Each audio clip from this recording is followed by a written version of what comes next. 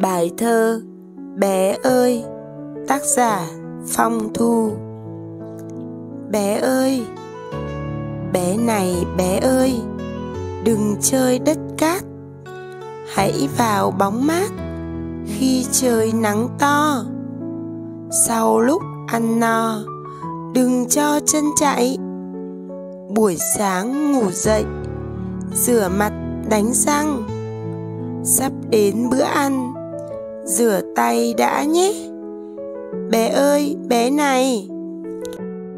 Bài thơ, bé ơi, tác giả phong thu. Bé ơi, bé này bé ơi, đừng chơi đất cát. Hãy vào bóng mát khi trời nắng to. Sau lúc ăn no, đừng cho chân chạy buổi sáng ngủ dậy, rửa mặt đánh răng, sắp đến bữa ăn. Rửa tay đã nhé. Bé ơi, bé này.